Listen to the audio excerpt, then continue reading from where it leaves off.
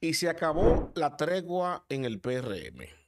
Pero no en general, sino específicamente la tregua que se había armado aquí en la capital en torno al liderazgo de la ciudad. Ustedes saben que la capital representa ¿no? el, el bastión o la catapulta presidencial de cualquier perfil que quiera aspirar a ocupar la silla de palacio. Digo esto, que se acabó la tregua, porque eh, al parecer eh, Carolina Mejía, ¿no? Eh, dejó a David Collado mal parado. David ha reaccionado de una manera que pareciera que él se dio cuenta que acaba de cometer un error, un gran error táctico político, ¿no? Entonces, veo a David Collado pataleando. Carolina lo dejó pataleando. Y digo esto porque habíamos analizado en este mismo espacio que a David evidentemente le convenía que Carolina perdiera o que luciera muy mal. De alguna manera, David fue convencido, se dejó convencer de Carolina, de Hipólito, de Luis, no sé, de que era más práctico, que realmente lo es, la unidad partidaria para asegurar un triunfo contundente del PRM. Si eso es cierto, que lo es para el partido de gobierno, como partido político, como fuerza política, eso es lo ideal en un partido. Para su proyecto personal no lo es. Y eso lo analizaba cualquiera. Lo hemos hablado en diferentes espacios. Una victoria de Carolina en la capital a la reelección la posicionaba para su proyecto en el 28. Tanto es así que les voy a presentar a ustedes una publicación. Miren esta publicación.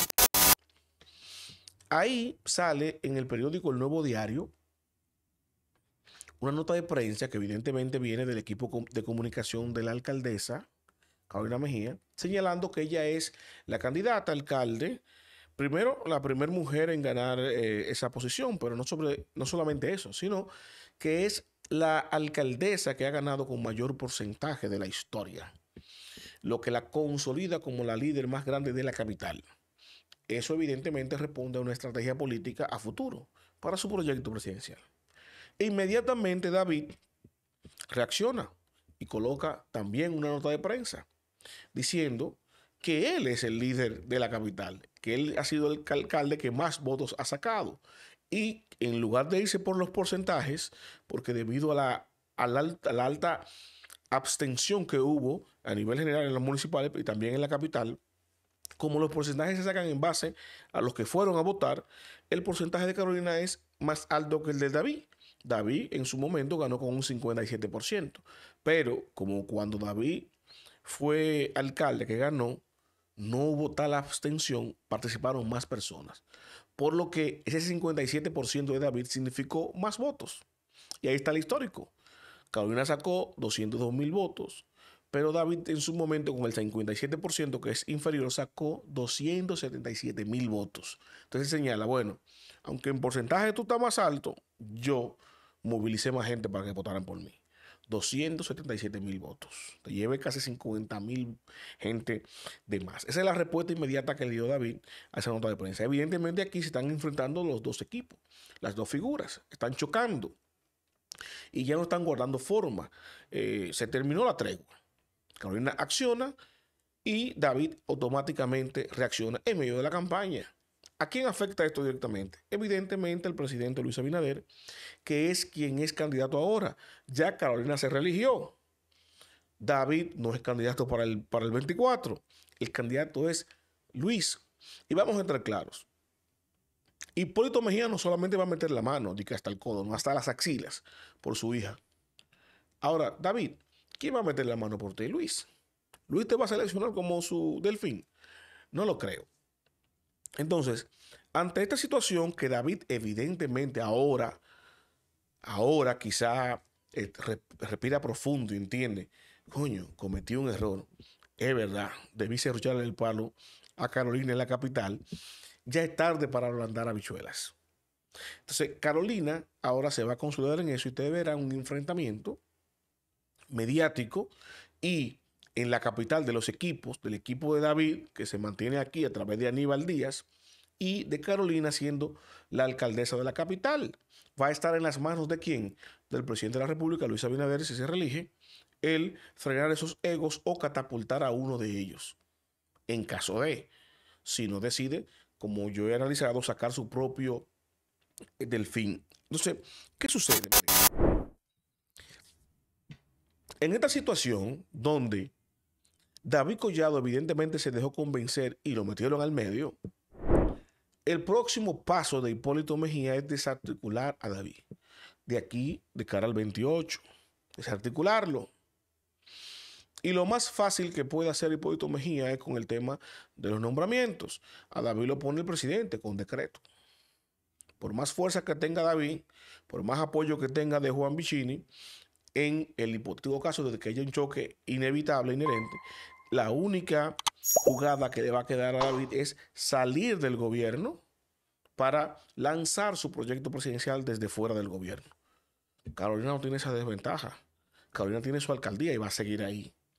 El pueblo tiene fuerza en el PLD, en el PRM, perdón, mucho más que David para enfrentarse directamente con el presidente Luis Abinader. Entonces, a partir de ahora, la, ventaja es de Carolina, porque la única desventaja que tenía era esta candidatura en las municipales. Lo advertí aquí en este mismo espacio. Esa era la única desventaja que tenía y la gran oportunidad que tenía David de neutralizarla. Al dejarla pasar, ahora esa debilidad se ha convertido en la fortaleza de Carolina de cara al 28. ¿Qué sucede ahora aquí, en la parte central de este análisis que yo quiero compartirles? Miren, el presidente Luis Abinader tiene una oportunidad de oro ahora, porque este conflicto entre ellos, aunque le perjudique en lo inmediato para su reelección, y él va a tener que manejarse con ambos para llegar a una especie de entendimiento, porque él toma como ejemplo lo que le pasó a la oposición. Una alianza que a todas luces no fue tan eh, cohesionada y tan certera que no pudo cuajar en distintos lugares y por eso no salió victoriosa, como usted analiza, que lo voy a hacer en otros cortes porque tengo datos importantes que darle de algunos lugares, ¿verdad? Eh, la alianza, aunque obtuvo muchos votos, no pudo cuajar candidaturas, que es lo que devela aquí y presenta David Collado. Cuando David Collado deja de lado los porcentajes que presenta Carolina, que es la línea del gobierno, presentar los porcentajes, presentar las victorias, para sacar en porcentaje que barrió. No le interesa presentar los números fríos. Porque cuando presenta números fríos y dice, bueno, el PRM obtuvo 1.800.000 votos y la oposición tuvo 1.500.000, la distancia no es tanto, 300, 350.000 votos. Faltando tres meses para las elecciones, cuando se necesitan 2.8 millones de votos para, para ganar, al presidente le falta un millón de votos, a la oposición le falta 1.300.000 votos. Entonces, están en la misma situación prácticamente de cara a las presidenciales. El presidente no le interesa vender eso. No, le interesa vender los escaños obtenidos. Bueno, como gané en más sitios, tengo el 77% de las, de las plazas. Cuando David presenta esto con números fríos, dice, bueno, Carolina, tú tienes un porcentaje más alto, pero por abstención. Cuando tú vas a números fríos, yo saqué más votos que tú.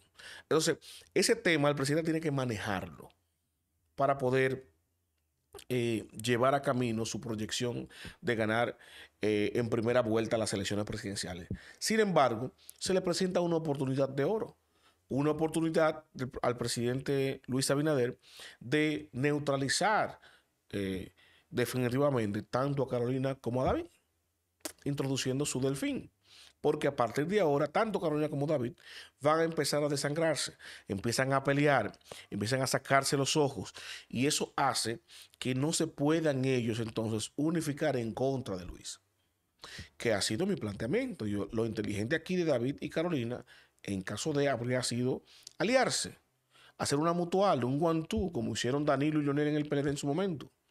Ustedes quieren desplazar al presidente Abinader hagan una alianza estratégica a lo interno del PRM con el apoyo de Hipólito. David, ponte de posición del presidente Hipólito Mejía.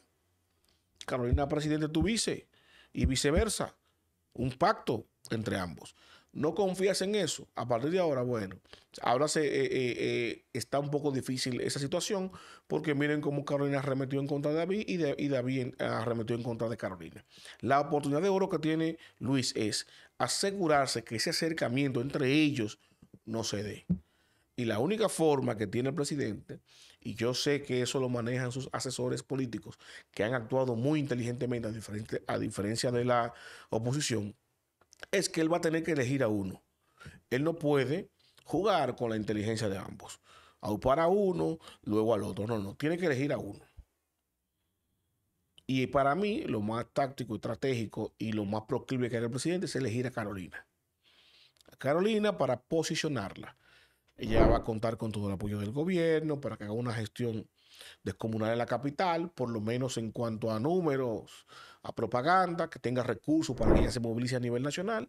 Y David va, a estar sindicado al proyecto de quizá de, de Miches con turismo y no va a tener quizá un, posicionamiento nacional o un espacio tan importante a nivel nacional como el que sí va a tener Carolina Mejía, por el simple hecho de que entre ellos dos se desangren.